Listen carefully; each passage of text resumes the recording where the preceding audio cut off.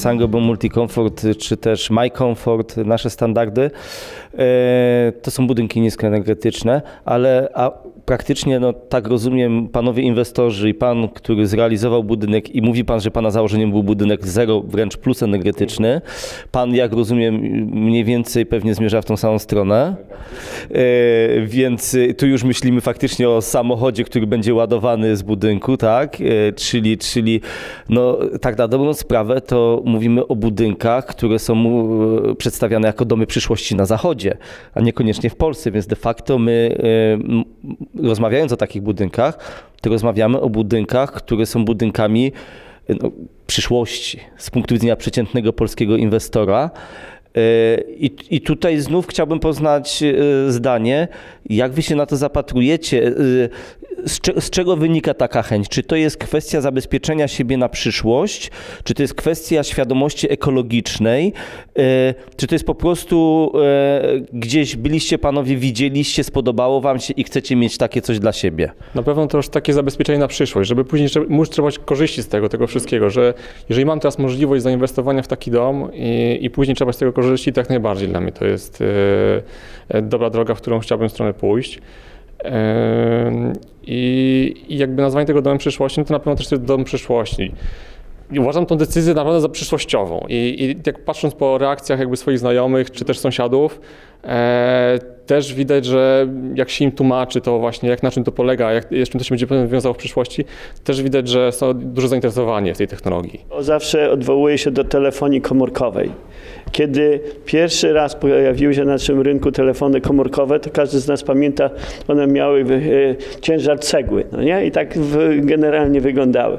Pamiętam akurat, kiedy kupowało się pierwszy telefon, to mówiło się, że nie ma problemu, że już można się połączyć Poznań z Warszawą, z Gdańskiem, ale przyszłościowo będziemy mogli się połączyć z każdym miejscem, akurat na, nie tylko w Polsce i na ziemi. Ja tak słuchałem na to i tak myślę, no tak, oni chcą głównie sprzedać swój produkt, no nie?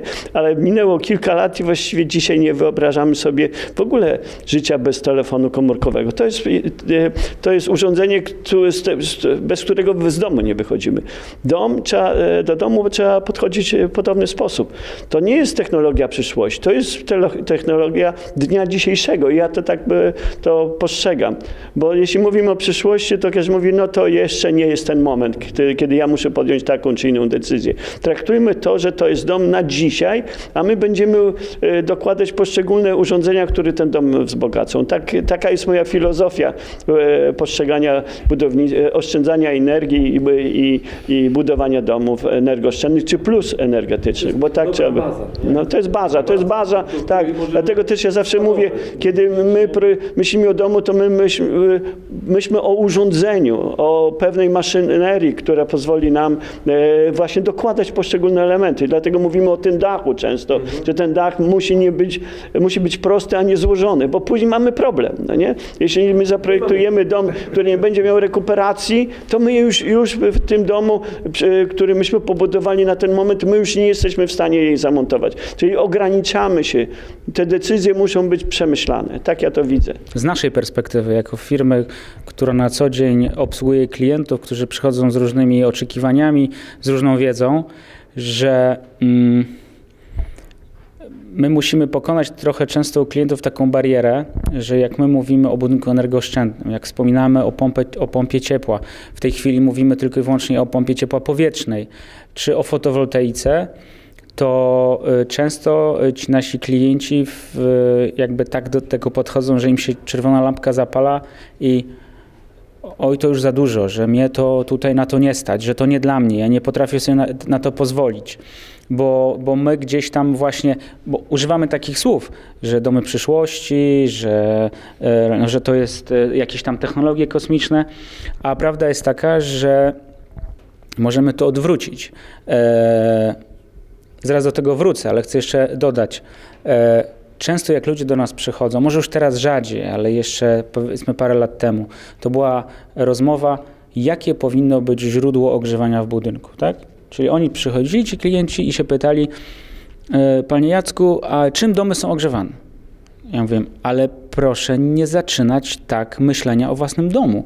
Państwo musicie wiedzieć, że ten dom będzie potrzebował niewiele energii na ogrzewanie, Więc czy to będzie gaz, czy to będzie pompa ciepła, czy to będzie jeszcze inna jakaś, jakaś inna opcja, to nie będzie miało znaczenia, bo tak jak mówiłem na, tej, na tym dzisiejszym wykładzie, jeżeli mielibyśmy samochód, który by e, spalał 1 litr paliwa na 100 km, to czy my byśmy się tak bardzo przejmowali, ile to paliwo kosztuje? No nie.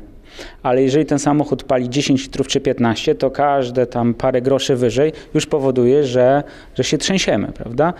I e, z mojej perspektywy, jako osoby, która się zajmuje na co dzień projektowaniem i, i patrzeniem tak szerzej na, na budowanie, e, to jest to, żebyśmy mieli dom, który spełnia nasze potrzeby na dzisiaj, na ten moment. E, my naprawdę nie potrzebujemy już domów, które mają 200 metrów, 250 metrów czy 300, bo te domy faktycznie w budowie są drogie.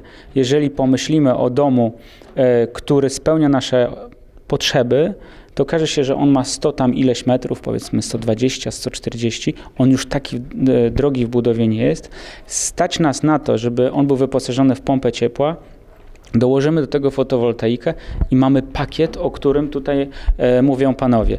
Ale e, to, co mnie rajcuje przy, przy projektowaniu naszych domów i co do mnie przemawia, że my, mając taki dom, nie jesteśmy szkodnikami.